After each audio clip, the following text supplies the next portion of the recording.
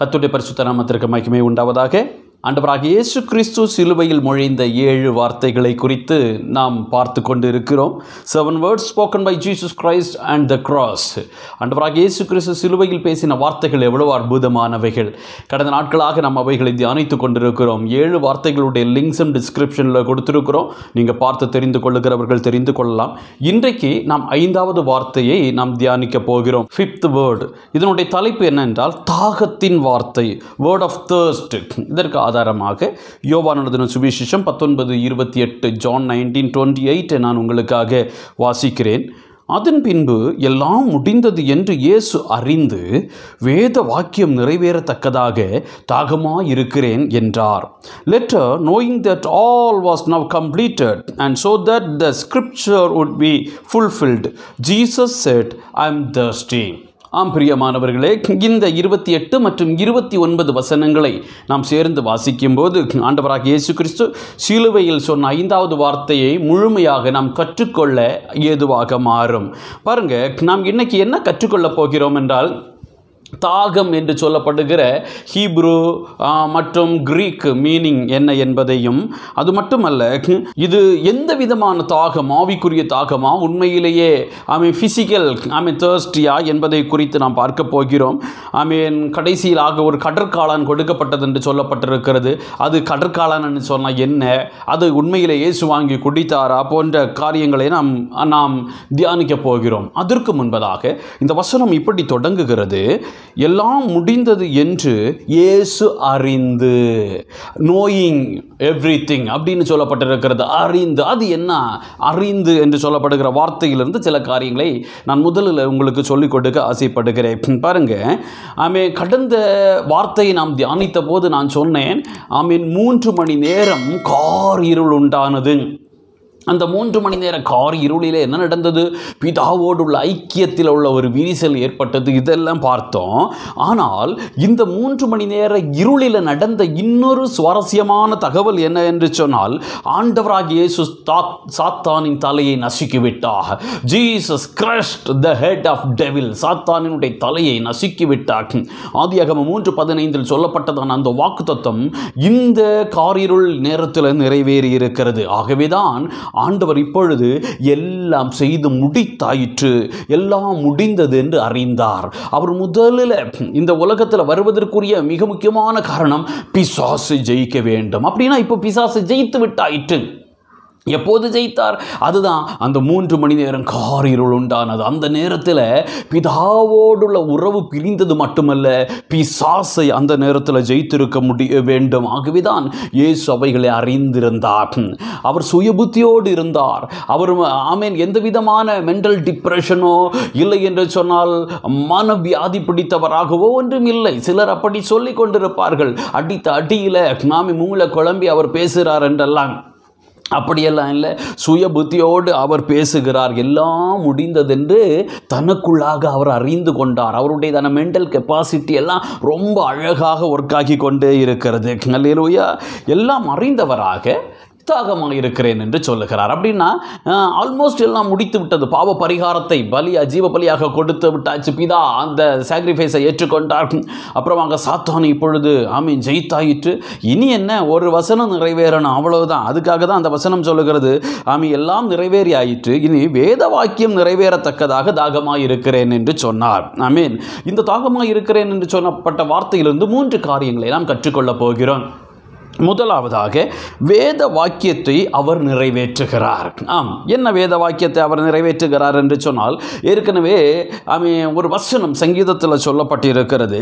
சங்கீதம் இருபத்தி ரெண்டாவது சங்கீதம் பதினாலு பதினைந்து வசனங்கள் தண்ணீரை போல ஊற்றுண்டேன் என் எலும்புகள் எல்லாம் கட்டுவிட்டது என் இருதயம் மெழுகு போலாகி என் குட்டல்களின் நடுவே உருகுகிறது என் பெலன் ஓட்டை போல் காய்ந்தது என் நாவு மேல்வாயோடு ஒட்டி கொண்டது என்னை மரணத்தூளில் போடு போடுகிறீர் பாருங்க என் நாவு மேல் நாயோ நாவோடு ஒட்டி கொண்டது அப்படின்னா தாகத்தினால் நாவு வறண்டு போய்விட்டது. உதடுகளில் தண்ணீர் அந்த அளவு இல்லை. ஆகவே பாருங்க இப்படிப்பட்ட வசனம் எல்லாம் சொல்லப்பட்டிருக்கிறது. ஆகவே தான் ஒரு வசனம் நிறைவேறும்படியாக அவர் தாகமாக இருக்கிறேன் என்று அவர் சொல்லுகிறார்கள். இருவையா மெயின் வேலையை முடிச்சாச்சு. பிசாசை ஜெயித்தாச்சு. சின்ன சின்ன எஞ்சி இருக்கிற ஒன்று இரண்டு வசனங்களையும் கூட அவர் தன்னுடைய வாழ்க்கையில் நிறைவேற்ற வேண்டியதாக இருந்தது ஹல்லேலூயா. அங்கே பாருங்க தாகமாக இருக்கிறேன் என்று சொன்னபடியினால்தான் அந்த காடியை அவருக்கு க- கொடுத்தார்கள். அந்த கடற்காளானை எடுத்து கொடுக்கிறார்கள். அதை கொடுக்கிறபடியினால்தான் அங்கு இன்னொரு வசனம் நிறைவேறுகிறது. எங்கே? ஆமே சங்கீதம் அறுபத்தி ஒன்பது இருபத்தி ஒன்று இப்படி சொல்லுகிறது. என் ஆகாரத்தில் கசப்பு கலந்து கொடுத்தார்கள். என் தாகத்திற்கு காடியை கொடுக்க குடிக்க கொடுத்தார்கள். பாருங்க என் தாகத்துக்கு காடியை குடிக்க கொடுத்தார்கள். இந்த வசனம் எல்லாம் நிறைவேற வேண்டும் அல்லவா அதற்காக தான் அவர் தாகமாக இருக்கிறேன் என்பதை அவர் சொல்லுகிறார். ஹல்லேலூயா. ஆக முதலில் நாம் இந்த வார்த்தையிலிருந்து கற்றுக்கொள்வது என்னவென்றால் அவர் வேத வாக்கியத்தை அவர் நிறைவேற்றுகிறார். இரண்டாவதாக நாம் கற்றுக்கொள்வது என்னவென்றால் அவர் தன்னுடைய மனித தன்மையை வெளிப்படுத்துகிறார். நாம் ஆண்டவராக இயேசு கிறிஸ்து தேவனாக இருந்தாலும் அவர் நூறு சதவீதம் மனிதனாகவே இருந்தார். ஆகவே மனிதனுக்கு ஏற்ற சுபாவங்கள் அவருடைய வாழ்க்கையில் இருந்தது. உதாரணத்துக்கு மத்தையு நான்காவது அதிகார ரெண்டாவது வசனத்தில் வாசிக்கும்போது அவருக்கு பசி உண்டாயிற்று. மத்தையு பதினான்கு பதினாலில் வாசிக்கும்போது அவர் மனது உருகினார். மத்தையு பதினைந்து முப்பத்தி ரெண்டு சொல்லுகிறது அவர் பரிதபித்தார். மார்க் மூன்று ஐந்தில் சொல்லப்பட்டிருக்கிறது அவர் விசனமடைந்தார். மார்க் மூன்று ஐந்தில் அவர் கோபமடைந்தார் என்று கூட சொல்லப்பட்டிருக்கிறது. மார்க் பதினான்கு முப்பத்தி மூன்றில் அவர் திகில் அடைந்தார் வே வியாகுலம் அடைந்தார் வியாகுலப்பட்டார் என்று சொல்லப்பட்டிருக்கிறது. அப்புறமாக யோவான் நான்கு ஆறில் அவர் இளைப்படைந்தார் என்பதையும் யோவான் பதினொன்று முப்பத்தி ஐந்தில் அவர் கண்ணீர் விட்டார் என்பதையும் யோவான் பத்தொன்பது இருபத்தெட்டில் அவர் தாகமாக இருக்கிறார் என்பதையும் பார்க்கிறோம். இப்படி இன்னும் சொல்லிக்கொண்டே போகலாம். எக்கச்சக்கமான மனுஷீக சுபாவங்கள் இருந்தது காரணம் அவர் மனிதன். ஆக தாகமாக இருக்கிறேன் என்று அவர் சொல்வதின் மூலம் நான் இப்பொழுது நூறு சதவீதம் மனிதனாகவே இருக்கிறேன் என்பதை அவர் உணர்த்தாமல் உணர்த்தி கொண்டிருக்கிறார் என்பதை நாம் அறிந்து கொள்ளுகிறவர்களாக இருக்க வேண்டும். நமக்கு தெரியும் அல்லவா? நாம் வெயிலில் ஒரு மணி நேரம் நடந்துட்டு வந்தால் தண்ணி தாகம் பயங்கரமாக இருக்கும். வெயிலில் நின்றாலோ நடந்தாலோ உச்சி வெயில் நம்மேல் பட்டாலோ தாகம் அதிகமாகும். வயிறு பசிக்கும். ஆண்டவராக இயேசு கிறிஸ்து ஏறக்குறைய மத்தியான நேரத்தில் சிலுவையில் அறையப்பட்டார். இப்பொழுது மூன்றாம் மணி நே அதாவது த்ரீ பிஎம் ஆகிவிட்டது. ஒன்பதாம் மணி நேரம் யூதர்களுக்கு இந்த நமக்கு சாயங்காலம் மூன்று மணி தாண்டி விட்டது ஏறக்குறைய மூணு நாலு மணி நேரமாக அவர் சிலுவையில் இருந்து கொண்டு இருக்கிறார் தாகம் பயங்கரமாக இருக்கும். ஒன்று உங்களுக்கு தெரியுமா? கெட்சமனே தோட்டத்துக்கு முன்பதாக பஸ்காவை ஆஸ்வரிக்கும் போது தான் ஆண்டவராகிய தேவன் அங்கு பஸ்காவை புசித்தார். அப்புறமாக எதுவுமே புசிக்கவில்லை. நியாய விசாரணை கெட்சமனையில் ரத்தம் ஒழுகினது. விசாரிக்கும் போது ரத்தம் ஒழுகியது. இப்பொழுது சிலுவையில் ரத்தம் ஒழுகியது. ஆமை வாட்டர் கண்டென்ட் எல்லாம் போச்சு. அப்படின்னு சொன்னால் தாகம் நிச்சயமாக இருக்கும் என்பதை நீங்கள் புரிந்து கொள்ள வேண்டும். ஆகவே உண்மையிலேயே அவர் மனுஷனாக இருந்தபடியினால் அவருக்கு லிட்டரலாக ஃபிசிக்கலாக ஒரு தாகம் ஏற்பட்டதும் உண்மைதான். கல்லூயா நமக்கு தெரியும் அல்லவா வாட்டர் கண்டெல்லாம் போ வாட்டர் கண்டென்ட் எல்லாம் உடம்புல போச்சுன்னா ஒரு கல்லிலூயா டயரியா வந்துச்சுன்னு சொன்னால் இல்லை வாமிட் வந்துச்சுன்னு சொன்னால் ஆமே வாட்டர் கண்டென்ட் போகும்போது நம்மால் நிற்க முடியாது. நாம் கீழே விழுந்து விடுவோம். மறுபடியும் தண்ணி குடித்தால் தான் நாம் எழும்பி நிற்க முடியும். அந்த ஒரு நிலைமையில் ஆண்டவராக இயேசு கிறிஸ்து இருக்கிறார். இதில் சுவாரஸ்யம் என்னன்னு சொன்னால் ஆமி யோவா நாலாவது அதிகாரத்தில் ஆமே தண்ணீர் முள்ள வந்ததான சமாரியா ஸ்திரீயினுடையதான தாகத்தை தீர்த்த தேவன்.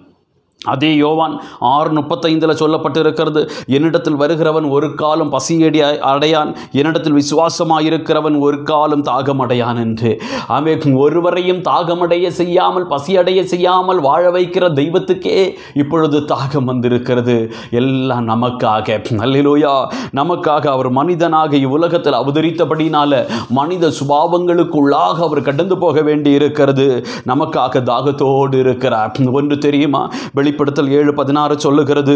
இனி இவர்கள் பசி அடைவதும் இல்லை இனி தாகம் அடைவதும் இல்லை வெயிலாகிலும் உஷ்ணமாவது இவர்கள் மேல் படுவதில்லை. இப்படிப்பட்ட ஒரு அனுபவத்துக்குள்ளாக நாம் போக போகிறோம். இப்படிப்பட்ட தாகமில்லாத பசியில்லாத ஒரு அனுபவத்திற்குள்ளாக நம்மை கொண்டு செல்வதற்காக அவர் இப்பொழுது தாகத்தை அனுபவிக்கிறவராயிருக்கிறார். தாகம் உள்ளவராயிருக்கிறார் ஆக இரண்டாவதாக இந்த வார்த்தையின் மூலம் நாம் கற்றுக்கொள்வது அவர் தன்னுடைய மனித தன்மையை வெளிப்படுத்துகிறார். நான் சொன்ன முதல்ல வேத வாக்கியத்தை நிறைவேற்றுகிறார். இரண்டாவதாக மனித தன்மையை வெளிப்படுத்துகிறார். மூன்றாவதாக இப்படியும் சொல்லலாம். தன்னுடைய ஆத்தும தாகத்தை பிரகடனம் செய்கிறான். ஆவிக்குரிய தாகம்.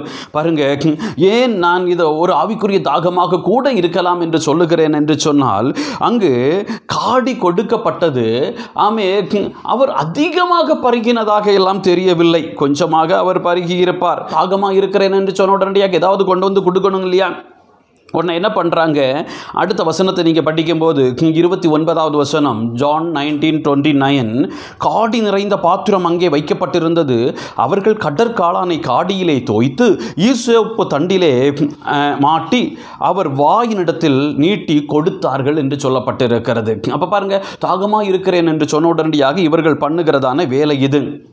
இதற்கு முன்பதாக ஒரு முறை ஆண்டவராகிய இயேசு கிறிஸ்துவை பிடித்து கொண்டு கொல்கதாவில் வரும்போது இப்படிப்பட்ட ஒரு நிகழ்வு நடந்தது. மற்ற இருபத்தி ஏழாவது அதிகாரம் முப்பத்தி மூன்று முதல் முப்பத்தி நான்கு வரை உள்ள வசனங்களில் வாசிக்கும் போது கபாலஸ்தலம் என்று சொல்லப்பட்ட கொல்கதாவிற்கு வந்தபோது அவருக்கு கசப்பு கலந்த காடியை கொடுத்தார்கள். அவர் ருசி பார்த்த பிறகு அதை குடிக்கவில்லை. ஏன் ருசி பார்த்த பிறகு அவர் குடிக்கவில்லை தெரியுமா?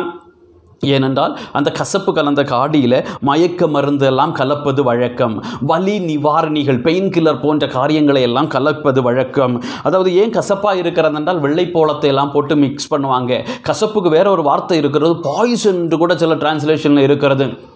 விஷம். அதாவது இந்த கசப்பை கொடுத்து விஷத்தை கொடுத்து சீக்கிரமாக இவரை சாகடிக்க வைக்கலாம் என்று அந்த காலகட்டத்தில் பாலஸ்தீனா தேசத்தில் உள்ள ஐ மீன் உயர்குல பெண்கள் அதாவது ரிச் உமன் ஐ மீன் பணக்கார பெண்கள் எல்லாம் வெள்ளைப்போளத்தை வைத்து கசப்பு கலந்த பாய்சன் நிறைந்ததான ஒரு விதமான காடியை உண்டாக்கி சிலுவையில் அறையப்படுகிறவர்களுக்கு கொடுப்பது வழக்கம்.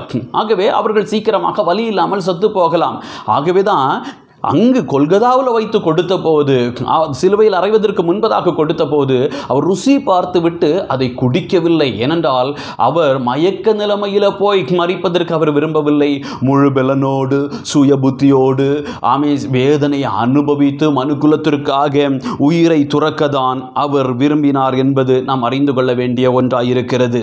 ஆனால் இங்கு நாம் பார்க்கும்போது சிலுவையில் அறைந்த பிறகு அவர் தாகமாக இருக்கிறேன் என்று சொன்ன உடனடியாக இங்கே என்ன செய்கிறாங்கன்னா காடி நிறைந்த ஒரு பாத்திரம் அதாவது காடியன்னா என்ன பைன் வினிகர் அப்படின்னு சொல்லப்பட்டிருக்கிறது. நாம தமிழில் காடியன் இருக்கிறது. ஒரு ஒரு விதமான திராட்சை ரசம் அது இங்கே இருக்கிறது. கடற்காளான ஒன்றை எடுத்து அதில் முக்கி ஈசோப்பு தண்டில் வச்சு இவர் வாய்க்கிட்ட நீட்டுறாங்க. இதுதான் நடந்த விஷயம். கடற்காளான் என்று சொன்னால் வேறு சில டிரான்ஸ்லேஷன் இருக்கிறது. ஈஸ்டர்ன் பைபிள் டிக்ஷனரி என்று சொல்லப்படுகிறதான பைபிள் டிக்ஷனரியில் கடற்காளானுக்கு அழகாக ஒரு விளக்கம் கொடுக்கப்பட்டிருக்கிறது. இது கடற்பாசி என்று. அதாவது கடலுக்குள்ளாக இருக்கிறதான பாறைகளினுடைய இடுக்கு பகுதிகளில் அந்த இடைவெளி பகுதிகளிலிருந்து எடுக்கப்படுகிற ஒரு விதமான பாசி என்று சொல்லப்பட்டிருக்கிறது. இன்னும் ஸ்மித் பைபிள் டிக்ஷனரியில் இப்படி சொல்லப்பட்டிருக்கிறது. இது ஒரு செடி மாதிரி ஒரு இருந்தாலும் ஆக்சுவலி இது ஒரு மிருக வகை அனிமல் கிங்டத்தை சார்ந்த ஒரு காரியம் என்று அவர்கள் சொல்லுகிறார்கள் எது எப்படியாயினும் இந்த கடற்பாசியை எடுத்து இந்த வினிகரில் வைன் வினிகரில் முக்கி அதாவது காடியில் முக்கி ஈசோப்பு தண்டில் வைத்து வாயில் கொடுக்குறாங்க. ஈசோப்பு தண்டெல்லாம் எதுக்கு பயன்படுத்தினார்கள் தெரியுமா? எங்கேயோ கேட்ட மாதிரி இருக்குதானே? யாத்திரையாகமும் பனிரெண்டு இருபத்தி ரெண்டில் வாசிக்கும் போது பஸ்கா பண்டிகையை கொண்டாடுவதற்கு முன்பதாக ஈசோப்பு தண்டில் ரத்தத்தை முக்கி நிலைக்கால்களில் எல்லாம் தேய்ப்பார்கள். அப்படின்னா அந்த பஸ்கா ஒரு நிழலாக இருந்தது. இது உண்மையிலே இயேசுவே ஒரு பஸ்காவாக நமக்கு மாறிவிட்டார் என்பதை தான் இது காட்டுகிறது. இயேசுவே ட்ரூ பாஸ் ஓவர் உண்மையான பஸ்காவாக இருக்கிறார். சரி எப்படியாயினும் இங்கு அவர் முப்பதாவது வசனம் என்ன சொல்லுகிறது என்றால் அவர் வாங்கின பின்பு அப்படின்னா வாங்கினார் என்று இருக்கு ஆனால் என்னை கேட்டால் நான் சொல்லுவேன் அது அவர் லைட்டாக கொஞ்சம் வாங்கி ஒரு நாவை மட்டும் என்ன செய்திருப்பார் நினைத்திருப்பார். ஏன் தெரியுமா? அடுத்து இன்னும் ரெண்டு வார்த்தை பேசணுமே பேசி முடிக்கிறதுக்கு நாவு ஆமே ஃப்ரீயாக இருக்கணும் இல்லையா? இது நாவு மேல்வாயோடு ஒட்டி கொண்டு இருக்கிறதல்லவா இன்னொன்று இன்னொரு விஷயம் ஏன் வாங்கி இருக்கலாம் இரண்டாவது முறை என்று சொன்னால் இப்பொழுது கொடுத்தது கசப்பு கலந்த காடி அல்ல. முதல்ல கொடுத்தது கசப்பு கலந்தது. அதாவது விஷம் நிறைந்தது. இல்லைன்னா கெமிக்கல் நிறைந்தது. மயக்க மருந்து நிறைந்தது. இன்னைக்குள்ள குளோரோஃபார்ம் மாதிரி இருக்கலாம். ஆனால் இப்பொழுது கொடுத்தது வேறு விதமான ஒரு காடியாக இருக்கிறது. கடற்காளான் தான் பாசி தான் கொடுத்தார்கள். அதை இதில் முக்கி கொடுத்திருக்கிறார்கள். அதை கொஞ்சம் வாங்கி நாவை நனைத்திருப்பார் என்றே நான் கருதுகிறேன். ஆகவே தான் நான் சொல்லுகிறேன் அவர் குடிப்பதற்காக தாகமாக இருக்கிறேன் என்று சொல்லலை. குடிப்பதற்காகனா வாங்கி ரெண்டு மூணு வாட்டி வாங்கி நல்லா குடிச்சிருப்பார். இல்லையா அது அல்ல இது ஒரு விதமான ஆத்ம தாகத்தையும் கூட வெளிப்படுத்துகிறது. ஹல்லேலூயா. ஆமேன். ஒரு முறை யோவான் நான்கில் சொல்லப்பட்டிருக்கும் போது சீடர்கள் அவருக்கு உணவு வாங்க போனார்கள். வந்து உணவை கொடுத்த போது அவர் சொன்னார் ஆமே பிதாவின் கிரியை செய்து முடிப்பது என்னுடைய போஜனமாக இருக்கிறது என்று யோவா நாலு முப்பத்தி நாலில் சொல்ல சொல்லுகிறார். அப்படின்னா ஜனங்கள் ரட்சிக்கப்பட வேண்டும். அதுதான் அவருடைய தாகமாக இருக்கிறது ஒன்று முப்பத்தையோ ரெண்டு நான்கில் எல்லோரும் ரட்சிக்கப்பட வேண்டும் என்பதுதான் அவருடைய சித்தமாக இருக்கிறது அல்லது அவருடைய தாகமாக இருக்கிறது என்பதை நம்மால் கண்டுகொள்ள முடியும். ஆக நாமும் கூட இயேசுவின் தாகத்தை தீர்க்க முடியும். எப்படி தெரியுமா? ஆமை சில ஜனங்களுக்கு இயேசுவின் அன்பை பற்றி எடுத்துச் சொல்லி அவர்களை கிறிஸ்துவண்டை நடத்தும் போது நாம் ஒவ்வொரு நாளும் கிறிஸ்து இயேசுவின் தாகத்தை தீர்த்து கொண்டு இருக்கிறோம் என்று அர்த்தமாயிருக்கிறது. ஹல்லேலூயா. பாருங்க இந்த தாகம் என்று சொல்லப்படுகிற வார்த்தைக்கு இங்கிலீஷில் தேர்ஸ்ட் என்று சொல்லப்படுகிறது. இதுக்கு ஹீப்ரூவில் இட்ஸாமே என்று சொல்லப்பட்டிருக்கிறது. அப்படின்னா தாகமாக இருந்து கொண்டே இருக்கிற ஒரு அனுபவத்தை காட்டுகிறது. கிரீக்கில் டிப்ஸோ என்று சொல்லப்பட்டிருக்கிற வார்த்தை பயன்படுத்தப்பட்டிருக்கிறது. அல்லேலூயா எப்படி ஆகினும் அவன் தாகத்தை தணிப்பது தான் கடவுளை பிரியப்படுத்துகிறதான காரியமாக இருக்கிறது இயேசு அதிகமாக எல்லாம் வாங்கி குடிக்கவில்லை. காரணம் நான் ஏன் அது குடிக்கவில்லை? அதிகமாக குடிக்கவில்லை என்று உறுதியாக சொல்லுகிறேன். ஏனென்றால் மற்ற இருபத்தி ஆறு இருபத்தொன்பதில் ஆண்டவராக இயேசு சொல்லுகிறார் இது முதல் இந்த திராட்சப்பழ ரசத்தை நவமானதாய் உங்களோடு கூட என் பிதாவின் ராஜ்யத்திலே நான் பானம் பண்ணும் வரை இதை பானம் பண்ணுவதில்லை என்று கூறியிருந்தார். பாருங்க ஏற்கனவே சொல்லியிருந்தார் இனி அடுத்த எனக்கு நல்ல ஃபுட்டு பிதாவின் ராஜ்யத்தில் தான் என்று. கல்லேலூயா ஆகவே வார்த்தைகள் ஒட்டாமல் சத்தம் வெளியே வருவதற்கு கொஞ்சம் ஒருவேளை அவர் வாங்கியிருக்கலாம். எப்படி ஆகினும் நாம் இந்த வார்த்தையிலிருந்து கற்றுக்கொள்வது ஆண்டவராகிய இயேசு வேத வாக்கியத்தை நிறைவேற்றுவதற்காக தாகமாக இருக்கிறேன் என்று சொல்லியிருக்கிறார். தன்னுடைய மனித சுபாவத்தை மனுஷீகத்தை வெளிப்படுத்துவதற்காக அதை சொல்லியிருக்கிறார். அவருடைய ஆத்மா தாகத்தை பிரகடனம் செய்திருக்கிறார். நாம் செய்ய வேண்டியது என்ன? ஆண்டவராக இயேசு கிறிஸ்துவின் ஊழியத்தை செய்ய வேண்டும். அநேகரை கிறிஸ்துவண்டை வழி நடத்த வேண்டும். நிச்சயமாக இந்த வார்த்தை உங்களுக்கு ஆசீர்வாதமாக இருக்கும் என்று நான் நினைத்து உங்களை மனதார வாழ்த்துகிறேன். காட் பிளஸ் யூ பிரியமானவர்களே இயேசு கிறிஸ்துவின் மரணமும் உயிர்த்தெழுதலும் என்று சொல்லப்படுகிற இந்த புத்தகத்திலிருந்து தான் ஆண்டவராக இயேசு கிறிஸ்து சிலுவையில் மொழிந்த ஏழு வார்த்தைகளை நான் உங்களுக்கு கற்றுக் கொடுத்து கொண்டிருக்கிறேன். ஒரு சில வருடங்களுக்கு முன்பதாக நான் எழுதின புத்தகம் இது. முக்கியமாக இயேசு கிறிஸ்துவனுடைய கடைசி நான்கு நாட்களில் நடந்த எல்லா சம்பவங்களையும் தொகுத்து எழுதியிருக்கிறேன். பஸ்கா முதல் பரமேறுகிற வரையிலையும் பாஸ் ஓவர் டு அசென்சன் வரைக்கும் உள்ள எல்லா காரியங்களையும் எழுதியிருக்கிறேன். மேல் வீட்டறையில் என்ன நடந்தது? பஸ்காவின் போது என்ன நடந்தது? கெட்சமனி தோட்டத்தில் என்ன நடந்தது. ஆண்டவராக இயேசு கிறிஸ்துவை பிடித்த பிறகு அவர்கள் செய்த ஆறு விசாரணைகளை குறித்து விரிவாக வரலாற்று அகழ்வாராய்ச்சி கலாச்சார பின்னணியங்களோடு கூட எழுதியிருக்கிறேன். அது மட்டுமல்ல சிலுவையில் வைத்து இயேசு சொன்ன ஏழு வார்த்தைகள் அந்த கொல்கதா மேட்டில் என்ன நடந்தது என்றைக்கு சிலுவையில் அறையப்பட்டார் எந்த நேரத்தில் அறையப்பட்டார் என்பதை குறித்து விரிவாக எழுதியிருக்கிறேன். மரணத்துக்கு பிறகு நடந்த சில அற்புதங்களை எழுதியிருக்கிறேன். அது மட்டுமல்ல ஆண்டவராக இயேசு கிறிஸ்து உயிர்த்தெழுந்ததை குறித்தும் உயிர்த்தெழுதலுக்குரிய பத்து ஆதாரங்கள் அவருடைய காட்சிகள் சில உயிர்த்தெழுதல் இல்லை என்று சொல்லுகிறார்கள். அப்படிப்பட்டவர்களுடைய கோட்பாடுகள் என்ன? அதற்கு நாம் சொல்லுகிறதான பதில் என்ன என்பதை குறித்தெல்லாம் விரிவாக எழுதி வைத்திருக்கிறேன். மேலும் ஆண்டவராக இயேசு கிறிஸ்துவின் கடைசி நான்கு நாட்களிலே இயேசுவோடு கூட தொடர்புடைய அநேக ஹிடன் கேரக்டர்ஸ் மறைக்கப்பட்ட கதாபாத்திரங்களை குறித்து எழுதி வைத்திருக்கிறேன். பிரதான ஆசாரியனாகிய காய்பா யாரு? அண்ணா யாரு? அவர்களுடைய பேக்ரவுண்ட் என்ன? ஏரோது இன்னும் பிலாத்து அவர்களை குறித்தான சரித்திரங்கள் பரபாசை குறித்ததான காரியங்கள் யூதாசை குறித்த காரியங்கள் மார்க்கவை குறித்த காரியங்கள் நிக்கோதியமை குறித்த காரியங்கள் அரிமத்தியபுரனாகிய யோசேப்பை குறித்த காரியங்கள் சிலுவை சுமந்த சீமோனை குறித்ததான காரியங்கள் இப்படி பல்வேறு கட்டுரைகள் இந்த புத்தகத்தில் இருக்கிறது. உங்களுக்கு விருப்பம் என்றால் வாங்கி நீங்கள் பயனடையுங்கள். கத்தர் உங்களை தாராளமாய் ஆசீர்வதிப்பாராக.